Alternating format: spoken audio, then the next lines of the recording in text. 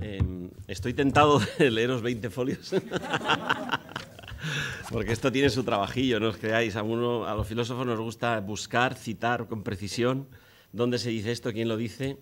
Y, hay, y he encontrado tesoros maravillosos de todos los lados y de todos los colores, ¿no? Pero voy a intentar no ir mucho al texto, porque si no a estas horas esto es como tener una conferencia a las 3 de la tarde.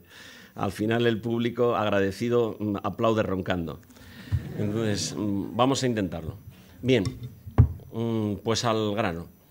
La filosofía siempre, mm, de alguna manera, pensamos nosotros que es un pensamiento frío, racional, que toma distancia de las cosas, del calor del mundo, ¿no? Y siempre pensamos que, por supuesto, entonces el pensamiento es neutral, inocuo, no tiene ninguna consecuencia, etc. Posiblemente sea eso eh, en la generación en la que se emiten esas grandes sentencias de los filósofos. Pero como muy bien decía Nietzsche, ahora nadie me entiende, pero dentro de 50 años seré dinamita. Y ciertamente eso es lo que le pasó a él, que murió abandonado. Eh, de la última edición de su libro Habló Zaratustra no vendió ningún ejemplar de los 30 que le publicaron, seis los regaló a su amigo, pero 50 años después era dinamita. ¿no? Eso es lo que pasa con la filosofía. La filosofía necesita madurar como, el buen, como la buena cocina. ¿no? Que es más sabrosa cuando con el paso del tiempo generaciones van leyendo libros que parece que son diletantes o literarios o que tienen ese regusto estético sobre las cosas que suenan tan bonitas y tan bien dichas por los filósofos, pero que son letales.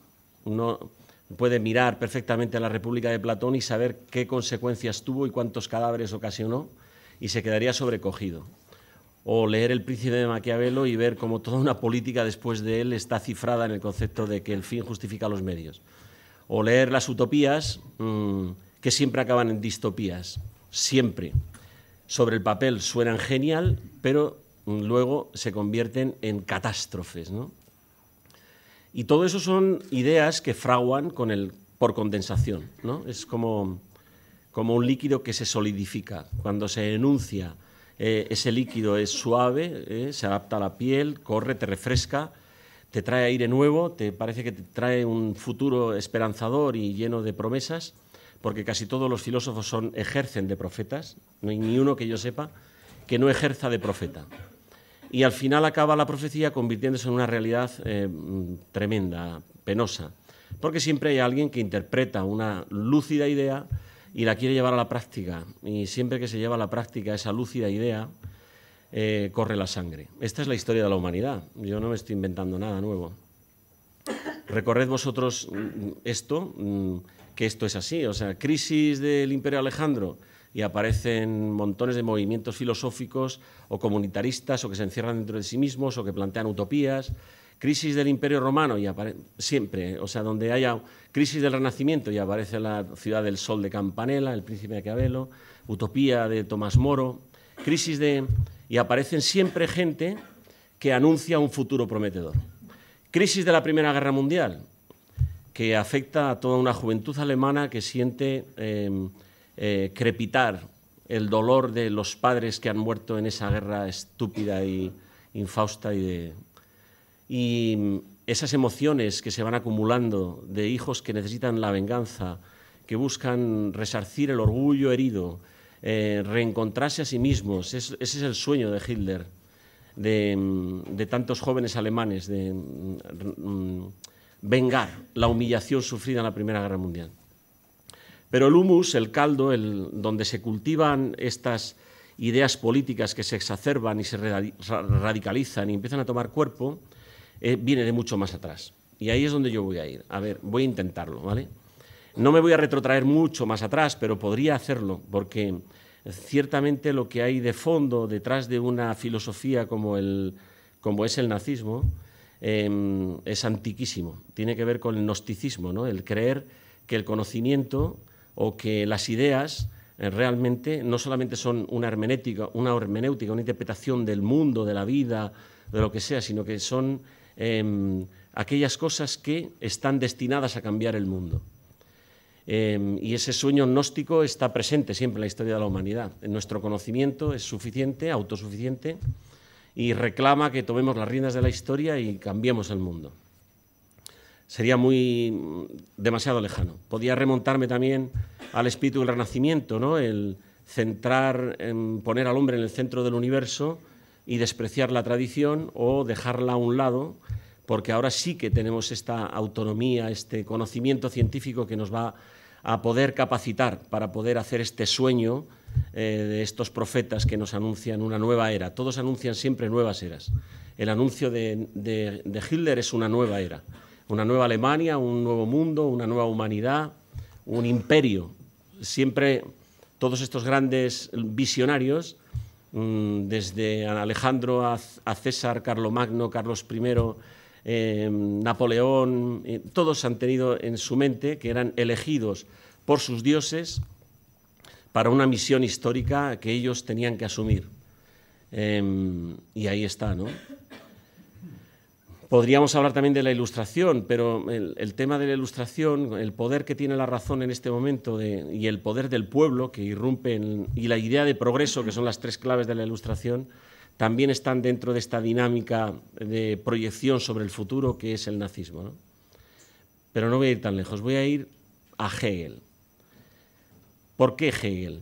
Mm, los que habéis mm, em, estudiado filosofía en el bachillerato, habéis visto alguna vez Em, una frase mm, de estas que se le queda uno grabado para la selectividad, que es eh, em, lo real es lo racional, lo racional es el Estado, ¿no? por reducirlo de alguna forma. Em, solo quiero que penséis una cosa, Hegel no es cualquiera, es el ideólogo de toda la Alemania del 19. Prácticamente es el filósofo que se estudia, es el, que trae a colación las esencias de lo alemán, del orgullo germánico. Eh, es el ansia de convertir una sociedad dispersa o en una especie de cohesión comunitaria, en una especie de pueblo que aúna toda la síntesis de la filosofía, que son para él la consumación del espíritu absoluto en la historia, él lo llama Estado y lo llama además estado total, estado totalitario. Es una palabra que va asociada siempre a real, racional, totalitario, estado. Es un cuatrinomio que es eh, mm, absolutamente idéntico, semánticamente hablando. Da lo mismo hablar de total que de estado, que de razón, que de real, etc. Y todo eso está eh, impregnado de una dinámica mm, interna de la historia que él llama dialéctica y que también es muy importante. Mm, luego os, digo cómo aplicamos esto. ¿no? La dialéctica tiene mm, es, un método, un método que em, vosotros habéis oído hablar de la dialéctica platónica, pero no tiene nada que ver con la dialéctica hegeliana. La dialéctica hegeliana tiene que ver con Heráclito, no con Platón, que es la dinámica de los opuestos. Es la creencia firme de la filosofía de que lo negativo se positiviza. La tesis es la proposición en la historia la antítesis es la contrapropuesta en la historia que se presenta como la negación de lo positivo o de, la tesis, ¿no? y que en esa lucha titánica entre opuestos genera una nueva síntesis gloriosa, unos nuevos significados, una nueva forma de vida, una nueva era, algo nuevo, un orden nuevo, un nuevo orden mundial. Ese es el sueño de todos los grandes eh, emperadores de la historia. Imaginaos la traducción inmediata de todo esto significa que, de alguna manera, Hegel está justificando que hay una violencia legítima. ¿Quién puede ejercer esa violencia legítima? Que controle el caos, el desorden, etcétera. ¿Quién puede poner el orden con una violencia legítima? El Estado, que queda legitimado por la voluntad popular, que es el descubrimiento de la ilustración, el Vox Populi, Vox Dei. La voz del pueblo es la voz de Dios. Eso es lo que legitima Robespierre y lo que legitima todo, Voltaire y toda la ilustración francesa. Bueno, pues ya tenemos ahí em, uno de los grandes, mm, digamos, mm, hitos del inconsciente colectivo alemán. Nuestro gran filósofo despierta el sentido de lo nacional, además está en el contexto del Sturm Drang, del romanticismo alemán, que es el redescubrir de los nacionalismos, de las esencias nacionales, del folk gates, del espíritu del pueblo, de la música wagneriana, eh, de, las mitologías, los nibelungos, las valquirias, el Odín, Thor y toda la mitología escandinava que fluye o pulula sobre la cabeza de estos iluminados, ¿no? Eh, Hitler a la cabeza. Pero bueno, mm, veréis que hay mucha más gente detrás. O sea, Hitler nada más que es, digamos, eh, la expresión em, eh, sublime de este humus vital en el que se mueve toda Alemania. El gran filósofo ha justificado que nosotros estamos llamados a asumir la historia mm, eh, de forma definitiva en una realización del espíritu absoluto en, nuestra mm, concreta humanidad, porque hemos sido elegidos por esta racionalidad que nos define, que somos nosotros, los alemanes, los germanos, los que tenemos sobre nuestras espaldas esta tradición. Pues esto es una de las partes. Otra de las mm, grandes mm, eh, aportaciones de la filosofía es, es, verdad, yo quiero decir también con Crane, es un eh, filósofo americano que en los años 40, cuando todavía no había eh, la guerra apenas empezado y no se sabía nada del mundo judío y todo este tinglado apenas, ¿no? ya decía que Nietzsche, que este es un punto interesante también a desarrollar, siempre todos los grandes críticos en las obras de las traducciones de Sánchez de Alianza Editorial siempre defienden que todas las interpretaciones que se hacen de Nietzsche en relación con el nazismo habría que imputárselas a su hermana y a su cuñado, que estaban tan em, eh, locos que se habían ido a Chile a organizar, o a Perú a organizar un mundo ario perfecto en los Andes, habían fracasado y que ellas sí que tenían este, ella sí que tenía esta idea pangermanófila de un mundo ario, etcétera, etcétera. Sí, es cierto. Y que ella es la que añade galeradas posiblemente a sus obras, también es cierto. Pero Crane dice, y aquí también hay, una cosa que decir en descargo de Nietzsche, es decir, Nietzsche no se le puede imputar que sea el, origen del nazismo, eso es imposible, imputárselo directamente, porque la filosofía, em, como dice Adorno, lo que hace es enfriar con argumentos el calor de la lucha.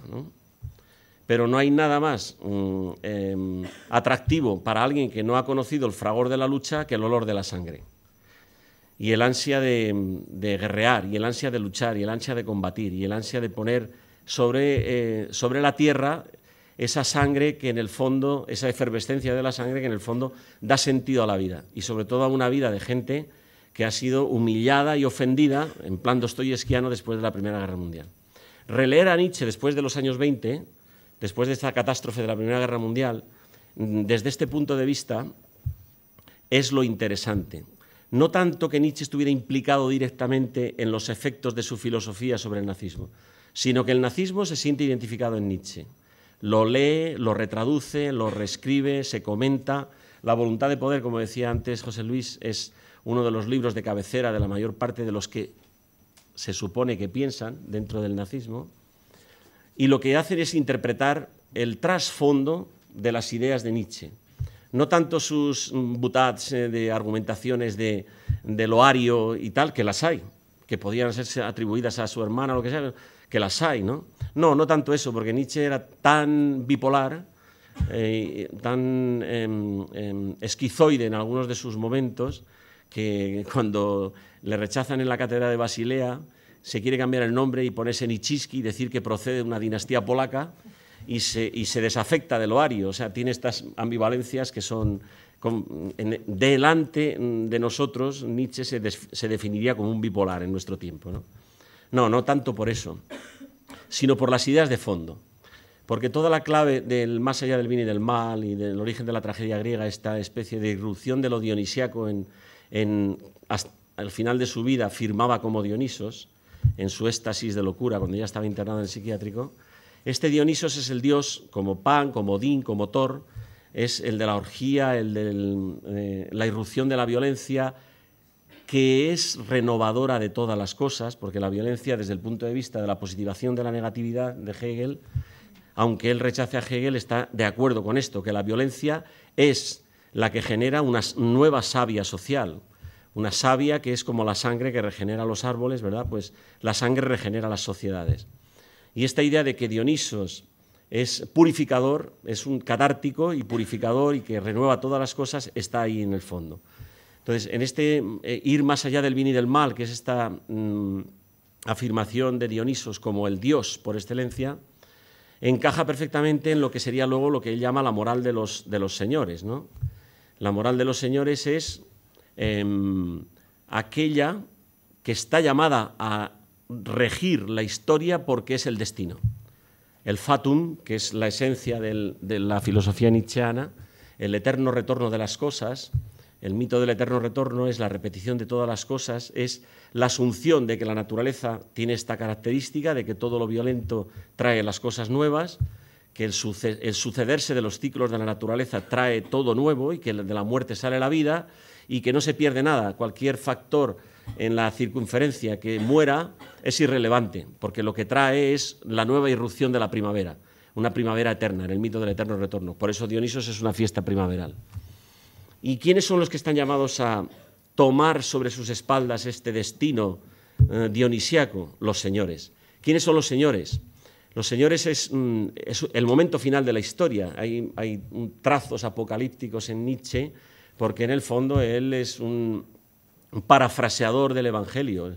Así habló Zaratustra, es una especie de parodia del Evangelio de San Juan. Busca discípulos, busca tíos que se han afirmado siempre a sí mismos por encima del bien y del mal etcétera, etcétera, describiéndolos como señores que nunca se han reprimido por un código moral o por una, por una normativa externa, heterónoma, sino que siempre han sido ellos los que se han afirmado en su voluntad de poder, decidiendo lo que está bien y lo que está mal, decidiendo lo que es la verdad y lo que es la mentira en sentido extramoral. Esto está profundamente ahí arraigado en esta mentalidad. Estos señores tienen sobre sus espaldas el designio de aceptar el destino, de haber sido elegidos para sobreponerse contra los esclavos, contra los débiles, contra el rebaño. Ahí Nietzsche mete al cristianismo y al socialismo, los nazis meterán a los judíos. Pero es exactamente lo mismo. Los señores tienen una misión profética en la historia que es llevar adelante estos designios, ¿no? que les demarca la naturaleza. Detrás de Nietzsche, aunque nunca lo cita, hay una cosa muy importante que es otro de los grandes hitos de la influencia de la filosofía en las ideas que se plasman en la historia y que cuajan en cosas como los totalitarismos comunistas o nazis. Y es que, aunque nunca lo cita, evidentemente está de moda. En el año 1860-70 ya se había publicado en el 70 la primera eh, edición del origen de las especies. El darwinismo estaba metido a tope en el combate dialéctico y de ahí surge algo que luego los nazis también tomarán, que es el neodarwinismo social de Spencer y Heckel, que era un tipo que estaba um, por las ideas de Darwin, que fue a verle y tal, es el gran em, ideólogo del racismo alemán, ¿eh? Hans Heckel, ¿no? Pues esto también está ahí detrás. ¿Y qué es el darwinismo? En el fondo es la afirmación de que en la lucha por la supervivencia de las especies, en la primera edición hablaba de los mejor dotados, Luego tuvo que corregirlo por las críticas que recibió y lo cambió por adaptados y eso cambió todo. Pero en la primera parte, que es la que se queda en el neodarwinismo social, se entiende perfectamente que si el ario se siente un señor elegido en la historia para plasmar la legitimidad de la violencia dialéctica y que tiene ese destino como un fatum al que tiene que dar una respuesta, encajan todas las piezas del puzzle. Entonces, esta confluencia de ideas filosóficas que se fraguaron antes Em, cuajan porque también hay otro clima de cultivo que es el añadido que hay a la filosofía, que es lo que está pasando en la biología, en la sociología. Em, en la biología, por ejemplo, uno de los grandes, mm, digamos, inspiradores de Haeckel también es, Galton, Francis Galton, que era primo de Darwin, es el primer em, eh, eugenesista o el primer racista que aboga por la selección natural eh, de la especie humana. Dice que la selección natural, perdón, cultural. Él, es un tipo que trabaja mucho con el pedigrí de los caballos, de las razas de los perros, etc. Y abogaba porque eh, se, implementase con una selección cultural porque la naturaleza era muy lenta. Entonces, ¿para qué castigar a las generaciones futuras con lastres eh, de malformados, discapacitados, etcétera, cuando se podía hacer, como se hace con los animales, mezclar Mm, razas bien dotadas y generar una nueva especie fortalecida para el futuro. Tengo las citas, o sea, yo no me estoy inventando nada, si queréis os las doy. Em, pero bueno, es igual, porque Galton luego es traducido por el estructuralista Wilhelm Wundt, en su teoría del racismo, abunda aún más en esto. Es necesario hacer una mm, especie de colaboración con la naturaleza para evitar el desgaste energético de la naturaleza, implementando selección cultural. ¿no? que las parejas, etcétera, como ha contado él antes, eh, las, mm, lo de las chicas em, eh, arias, em, bueno, Hitler tenía todo un equipo de, sementales femeninos y sementales masculinos para aparearlos para generar esa raza pura de, individuos que mejorasen la raza. Esta eugenesia genocida está inspirada en Galton. Lo digo al paso porque Galton era un burgués británico de alta sociedad, riquísimo, etcétera, y para deciros que no son tan malos, malísimos los nazis solo, porque en los años 20 ya en los Estados Unidos había también eh, programas eugenésicos y en Suecia también, y en Suecia incluso en el año 75, ya pasados veintitantos años después de la Segunda Guerra Mundial, había una em, esterilización de los discapacitados, había programas adecuados para hacer una selección em, eh, cultural de las disfunciones sociales, porque no puede cargar la seguridad social con ese lastre tan terrible, de cargar con gente que no es productiva. Bueno, pues esto, esta influencia que viene de la biología o la sociología, en aquella época también Gustave Le Bon, que era el primero de los grandes que empezó a investigar el tema de las masas, que era un tema interesante, o Tarde o Tocqueville, después vendrían eh, Freud y Ortega, incluso hablaría de eso, pero Gustave Le Bon ya hablaba de un fenómeno que es el fenómeno de las masas.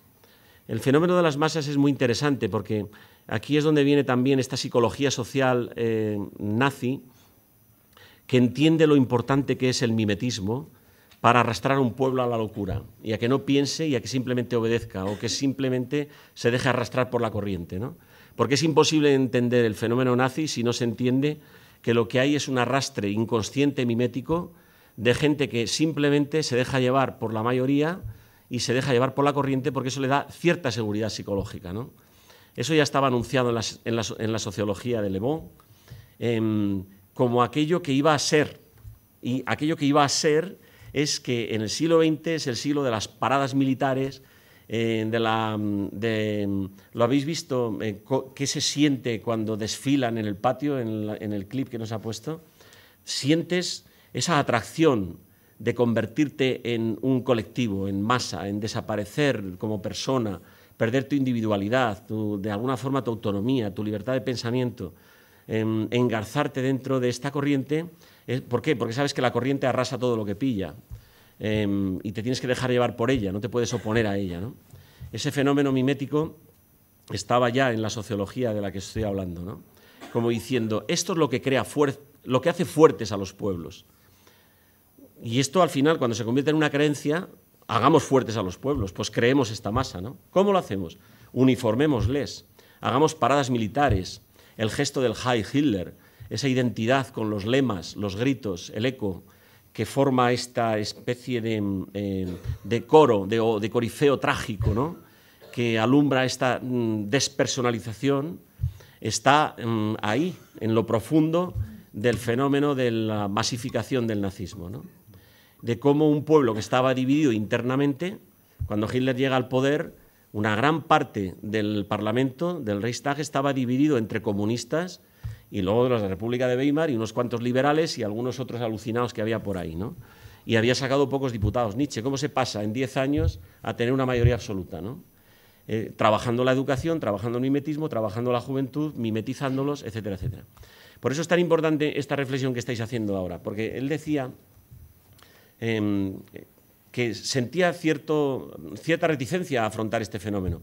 Yo ninguna, porque desde que vi La Ola, la película esta fantástica, y luego me enteré que era un experimento psicológico que se hizo en Estados Unidos y que es una cuestión real, em, dije, ah, se puede repetir. Y entonces, ¿por qué no va a haber que afrontar, hacer un autoanálisis crítico de la historia de la humanidad si eso se puede volver a dar? Y el otro día leía en el periódico que habían hecho un análisis sociológico en, el Ministerio de Educación sobre, em, resumo, en España por lo visto hay 256 grupos de ultraizquierda radical y 56 de ultraderecha radical. Muchos de la derecha están asociados al mundo del fútbol, etcétera, etcétera. El mundo del fútbol es un parapeto, es una especie de escudo em, psicológico de una realidad más profunda. ¿no? En el fondo es el resentimiento del hombre em, que vive de alguna forma relegado en el mundo social o en el mundo tal y que expresa esa violencia descargando sobre el chivo expiatorio o sobre una identidad nacionalista detrás de una camiseta. ¿no? Por eso las banderas, los colores nacionales, la identidad generada por la mimetización. ¿no? Pon un trocito de la, de la ola que quiero que veáis.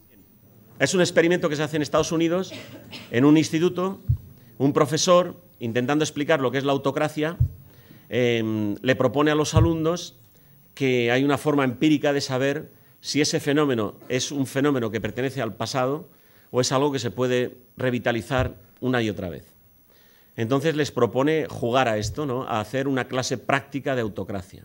Entonces les empieza a preguntar, ¿y qué es lo fundamental para volver a poder justificar un gobierno autocrático? Y entonces empiezan uno a opinar. La disciplina. Sí, la disciplina, lo habéis visto, ¿no? El, militarismo que decía él, la obediencia, eh, tal. Eh, ¿Qué más? empiezan a decir. Em, un, icono, un signo de identidad. ¿Y cuál podría ser este? Y a uno se le ocurre esto. En lugar de Heil Hitler, hacer esto. Y ahí viene lo de la ola, ¿no? Y, ah, y podríamos hacer un símbolo. Claro, yo hago grafitis, pinto muy bien. Pa, enseguida aparece la ola como una especie de esvástica mm, mítico-mística con la que se identifican todos. En una noche invaden de olas toda la ciudad, eh, pintadas en las puertas, en las paredes, etcétera, etcétera. ¿Cuál sería el otro signo de, creación de esta, de esta necesidad de arropamiento afectivo que tiene el ser humano, que se siente atomizado, individualizado y que solo sentimos mucho frío, pero juntos sentimos mucho calor? ¿Cómo se podría hacer esto? sentir el calor emocional en una sociedad eh, desestructurada, individualista, eh, en un estado de decrepitud, de humillación, como la que se vive después de la Primera Guerra Mundial. Y en este momento, en la ola, lo que se está viendo en los actores que, se, que protagonizan esto es que uno tiene la familia destruida, el otro no le quiere nadie, el otro es un turco que vive en una Alemania que no le acepta y le rechaza como emigrante. Eh, va describiendo un poquito esa, esa, mm, esa especie de, de desestructuración social. ¿no? ¿Cuál sería el siguiente? Y dice alguien, el uniforme. Y entonces proponen que al día siguiente vayan todos a clase vestidos de blanco. Ahora ya estamos completos. Pero Jules Bauman y Frederick Clausen querían apuntarse también. Ya estamos completos. ¿Denis? Ahora que somos tantos, pienso que necesitamos un nombre. Muy bien. Ese era mi siguiente punto a tocar. ¿Tenéis alguna propuesta? Sinan. El Escuadrón del Terror. En serio, por favor. ¿Denis? El Club de los Visionarios. Marco. La ola. Se te tenía que ocurrir a ti. Encaja a la perfección, es bueno. Es verdad. Tim. El tsunami. Un poco excesivo. ¿Casi? La base. El pacto. El gigante blanco. El círculo interno. Los resucitados. El centro. El centro suena bien. ¿Alguien tiene alguna otra idea? Fijaos una cosa importante. Para ahí. Ella levanta la mano. ¿Sabéis esa escena de la lista de Schlinder que está, eh, el gueto de Varsovia está siendo arrasado por la Gestapo y todo, toda la película es en blanco y negro y de repente aparece una niña vestida de rojo paseándose por en medio, ¿no? esa nota de color.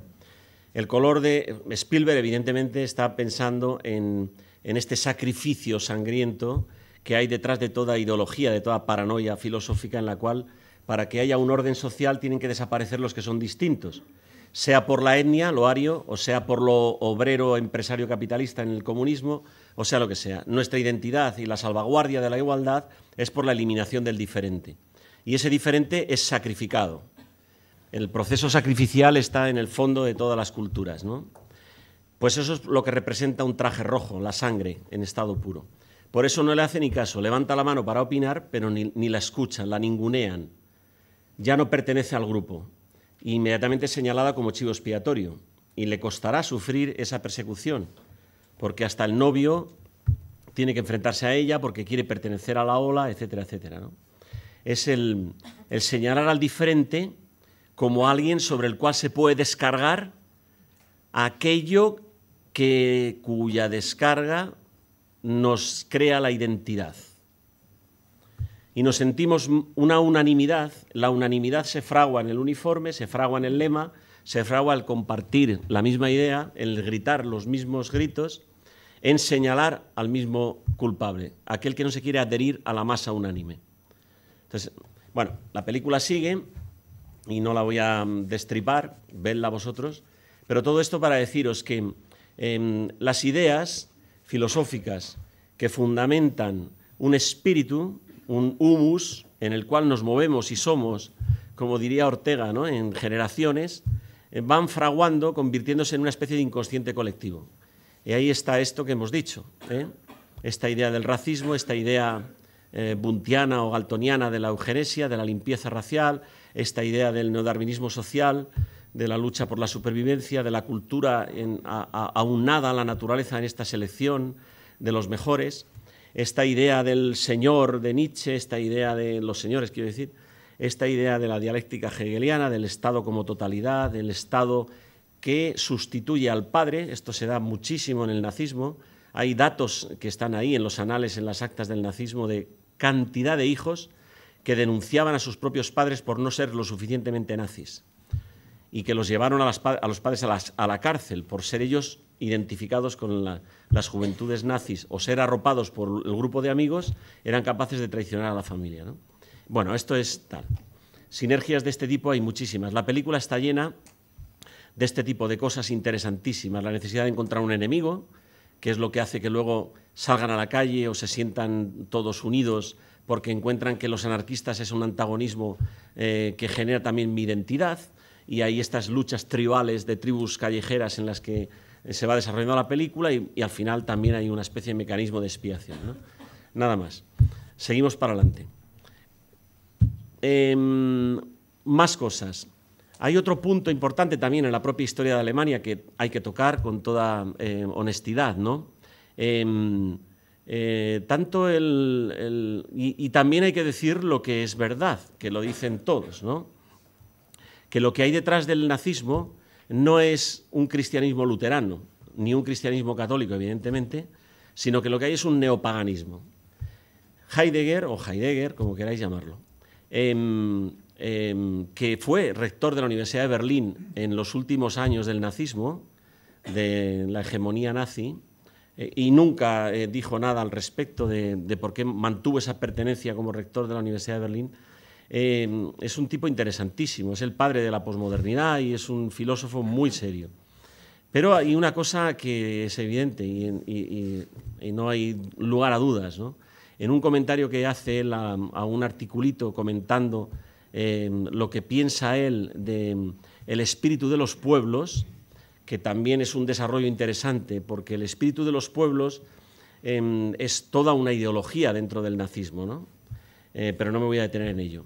Dice que la forma de, poder Alemania volver a, rescatar sus esencias es, em, em, la necesidad de encontrar un Dios. Obviamente, cuando habla de ese Dios, mm, no penséis ninguno que está refiriéndose a Jesucristo o a Yahvé judío, ¿no?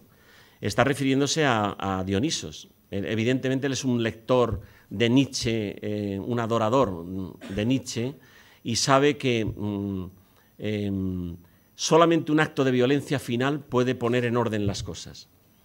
Y esto lo dice en un momento de, éxtasis y donde la refriega y la pérdida de la guerra ya casi era inminente y, es un, tema duro de, roer. Pero ¿qué es lo que está diciendo eh, Heidegger en el fondo?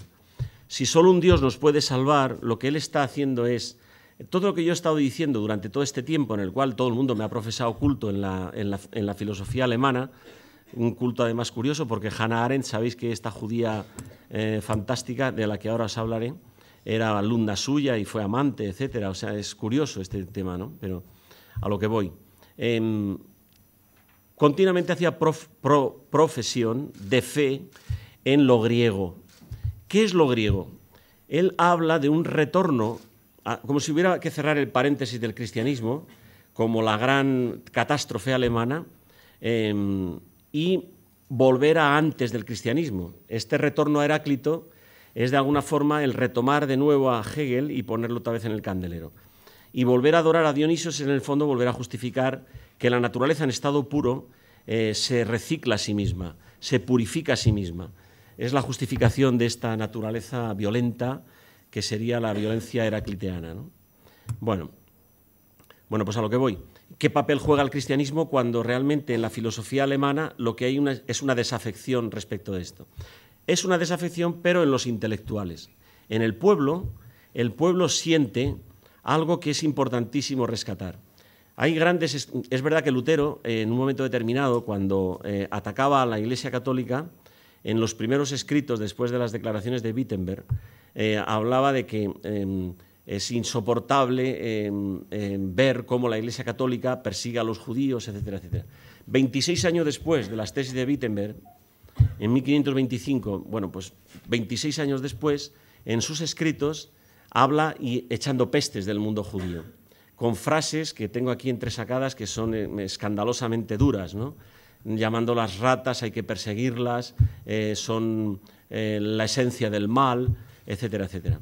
En el alma del vulgo, que nunca es cristiano, pero que siempre está impregnado de esa pátina de cristianismo cultural, que es la identidad nacional, como el cristianismo alemán luterano, cuaja profundamente esta mentalidad. Mm, Lutero dijo que los judíos eran esto. Bueno, pues eso hay que decirlo. ¿no? Es verdad, también hay que decirlo, que ese es el vulgo luterano, porque los grandes intelectuales del luteranismo, Bonhoeffer, Karl Barth, Bonhoeffer además fue mártir y era un pastor luterano que se opuso a Hitler y que acabó en la horca en los últimos días de la Segunda Guerra Mundial, lo decían con claridad. ¿Qué le pasa a nuestro pueblo que ha sido absorbido por una ideología y ha perdido su identidad? ¿Qué, papel juega aquí lo religioso cristiano en el mundo del nazismo? En el fondo, detrás mm, de todo esto lo que hay es mm, esta es la interpretación también de Adorno y de Horkheimer y de algunos otros. Eh, el, nazismo es un paganismo, es un retorno a las esencias heracliteanas o dionisíacas. Por lo tanto, ¿qué ha pasado para que la pátina cristiana no haya podido eh, sobreponerse sobre el paganismo y haya triunfado al final el, reconocer eh, la esencia nacional como un éxtasis de violencia? Como es la irrupción de Dionisos en las aldeas griegas, que entraba arrasando y mm, matando, machacando a todo el que pillaba por medio, etcétera, y luego le descuartizaban, se lo comían, esas historias. ¿no? ¿Qué ha pasado ahí?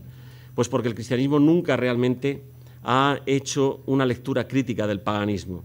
Cuando los bárbaros de alguna forma avanzan en el imperio romano, lo único que entienden es que el sacrificio de Dionisos, el diasparamos, el descuartizamiento de Dionisos, es exactamente igual que el sacrificio de Cristo y han seguido haciendo exactamente lo mismo, llamándolo misa, Eucaristía o celebración de no sé qué cosa, que lo que hacían en sus eh, ordalías, en, sus aquelarres, en su culto al fuego, etc.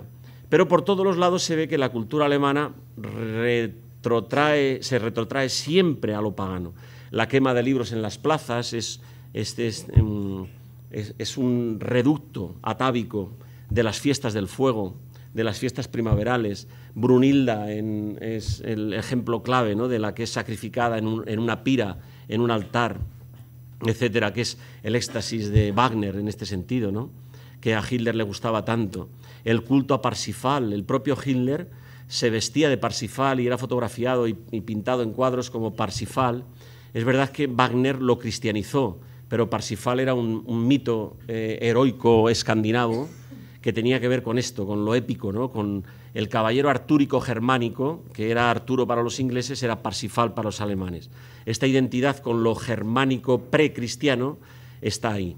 Y con esto enlazo con otro de los grandes temas que hay detrás, y es lo que acusan muchos. Por ejemplo, Powell en El Retorno de los Brujos eh, dedica dos o tres capítulos al concepto de, eh, mm, de culto esotérico del nazismo la cantidad de amigos y mm, em, correligionarios de Hitler que eran rosacrucianos, que, hacían, que, mezclaban la mística nazi con em, em, las esencias de la magia y el misticismo primitivo de, lo ario, es permanente.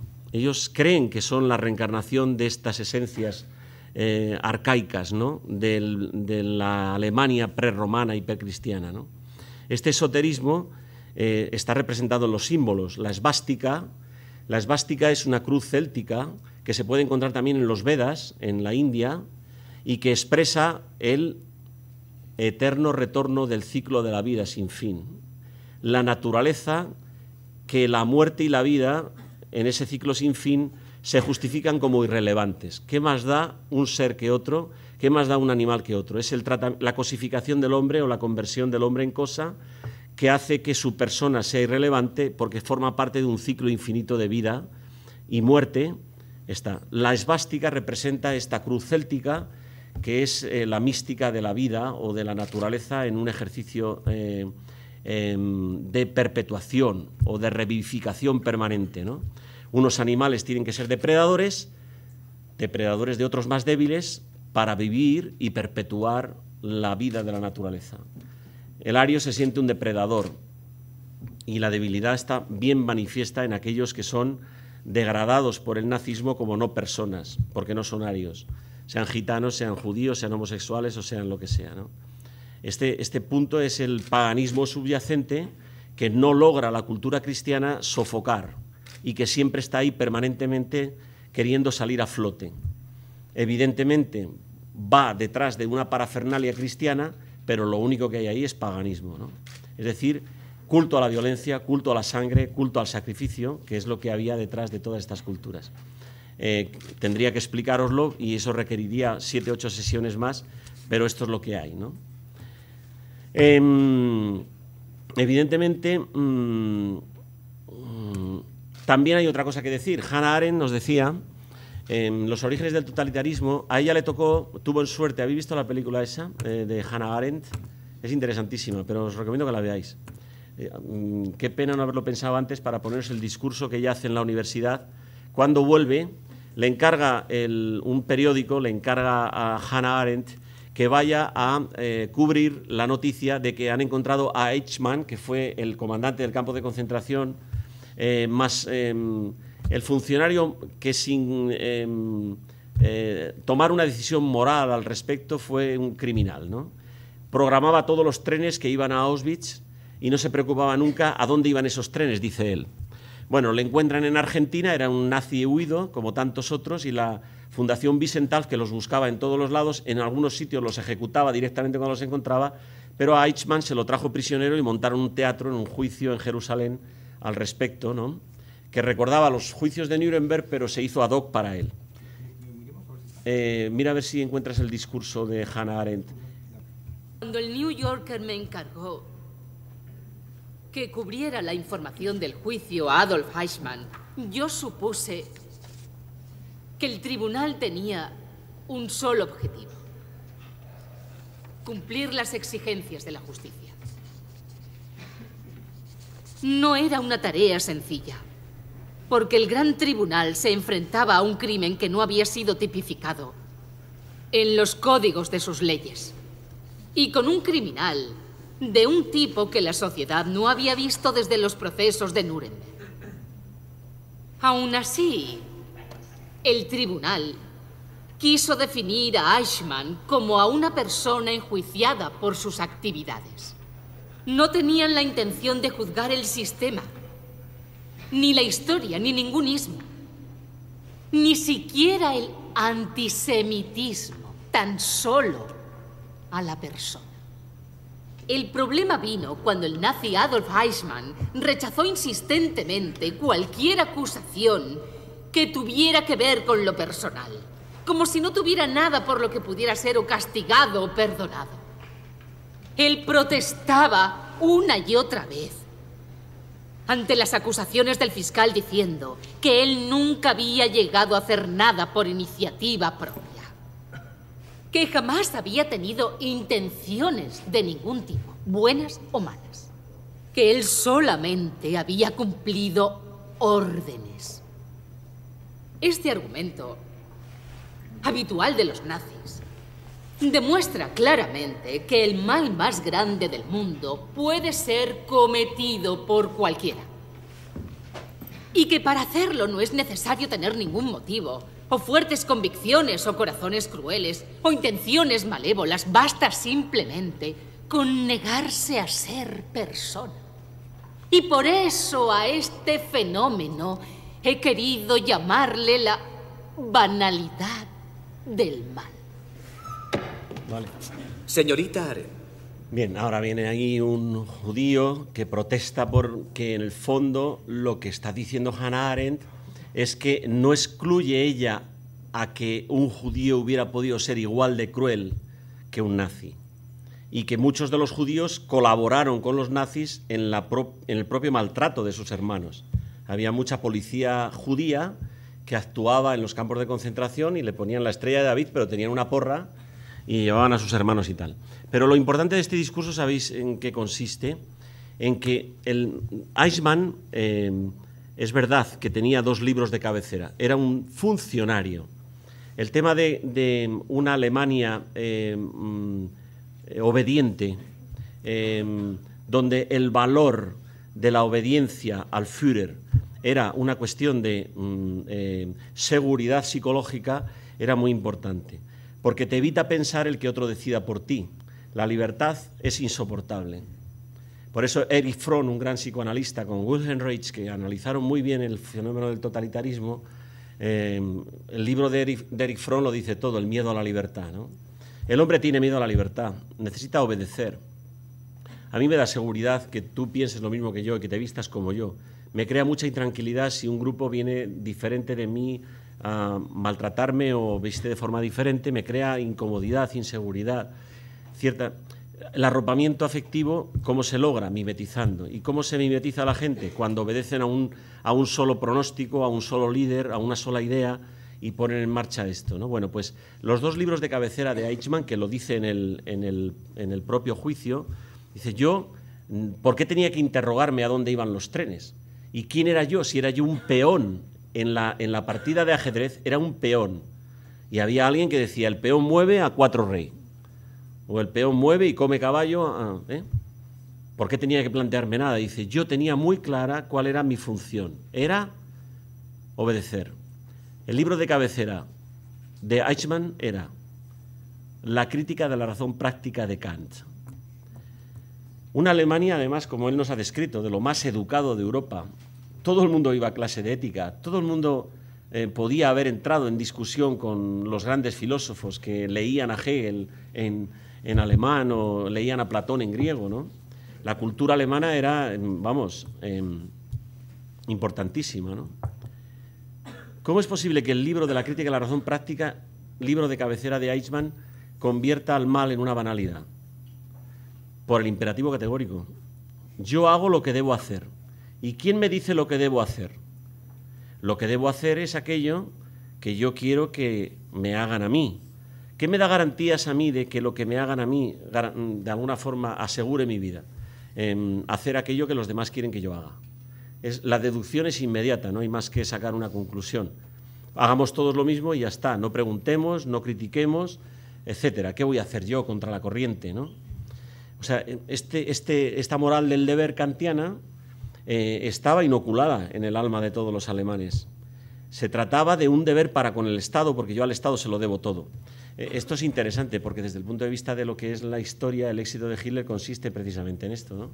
que una Alemania en la crisis del 29, que está hecha a polvo, con un paro enorme, eh, pagando el armisticio, hambrunas, etcétera, etcétera. De repente este hombre garantiza en unos años el pleno empleo, les convierte el orgullo nacional, se convierte en una especie de, de mantra que consiste en no le pagaremos a los aliados las deudas contraídas por la guerra, pues pum, pum, pum, pum, pum, pum, pum, y entonces, ¿a quién vamos a obedecer? Al que nos ha sacado de la miseria, al que nos ha convertido de nuevo en una potencia, al que otra vez nos hace sentir el aire imperialista. Como dice Hannah Arendt en, en Los orígenes del totalitarismo, em, el problema de Alemania era la reverberancia, se dice, la reverberación permanente del imperio, del imperio, del imperio sacrogermánico. O sea que hay que remontarse muy atrás. La memoria colectiva, la memoria histórica de la que se habla tanto, etcétera, en los alemanes es, mm, está fresca. Es la memoria colectiva de lo que pasó en la Primera Guerra Mundial que requiere venganza. No podemos ser un pueblo humillado cuando somos eh, tal. Ahora la venganza de Alemania consiste en que son la locomotora económica de Europa. Han triunfado en lo económico, perdido en lo militar, ¿no? pero es la historia, esta tortilla permanente que de tanto darle vueltas en la sartén se quema y al final volverán otra vez, ¿no? No sé si en los alemanes, no sé si en dónde, no sé si qué ideologías se pondrán de moda, pero evidentemente la eugenesia no es algo que haya pasado de moda, eh, está a la orden del día. Em, el, totalitarismo, eh, ahora podríamos hablar de que el totalitarismo es em, estas mayorías soft que funcionan como dictaduras por la opinión de la mayoría eh, y que nos dicen lo que tenemos que pensar, lo que está bien y lo que está mal y que nos lo inducen a través de, sutiles programas de televisión, series, telediarios, periódicos, etc. Es decir, siempre el hombre está en esta tensión de repetir la historia una y otra vez. Porque lo que hay de fondo, que es lo permanente, es básicamente estas cuatro ideas filosóficas que cuajan perfectamente. Y solo me falta decir una, de estas que os he dicho ya una y otra vez, ¿no? de creer todos en que la violencia hay una violencia legítima, que restaura un orden eh, perdido. Em, todos tenemos en, la memoria un eco del paraíso, y si hay un eco es que hubo un paraíso y ese paraíso lo, alojamos en la noche de los tiempos. Y eso es a lo que queremos todos llegar. Y el problema es dónde cifrar ese paraíso. Si es en la etnia, si es en una identidad en la noche de los tiempos, si es un territorio, si es un paraíso místico. Pero el eco existe, porque todo el mundo quiere utopías y todo el mundo quiere resarcirse del desorden, del caos, de la inseguridad, del miedo, a la libertad, a tener que tomar decisiones, a ser autónomo, a pensar por uno mismo, eh, refugiándose en lo que piensan los demás, en la masa anónima, en la masa mimética. Em, hay miles de cosas que decir, ¿cómo estamos de hora? Para terminar, quisiera dejar en el aire la pregunta que hace unos cuantos siglos lanzó un judío que se llamaba Spinoza. ¿Por qué combaten los hombres por su servidumbre como si se tratase de su salvación? Y os dejo con esa pregunta. Porque yo creo que un programa universitario que, nos capacite para un pensamiento crítico, que pueda evitar que se repita la historia, requiere tomar conciencia de la historia y adquirir un compromiso ético con ella, de no dejarnos llevar por las corrientes miméticas, de no hacer lo que todos hacen, de pensar de alguna manera que lo que tenemos que buscar en todas las acciones que hacemos es em, el bien para el otro como si fuera para mí mismo. Esta es la regla de oro que Kant intentó traducir, pero que luego convirtió patéticamente en este imperativo categórico que fue mal interpretado por Eichmann. ¿no? Pero esto es lo que hay. ¿no? yo mm, citaría por último al maravilloso Bonhoeffer, el mártir luterano que murió en una horca, hemos sido testigos de acciones malvadas. Para reconstruir la catástrofe no necesitaremos genios, ni cínicos, ni menospreciadores de hombres o refinados tácticos, sino de hombres sencillos, humildes y rectos, e incluso gente de la ELU. Eso lo dice Bonjefer, lo de la ELU. Seguro. Seguro. Pero yo estoy convencido de que en vuestra genialidad sois así, sencillos, humildes y trabajadores por la paz.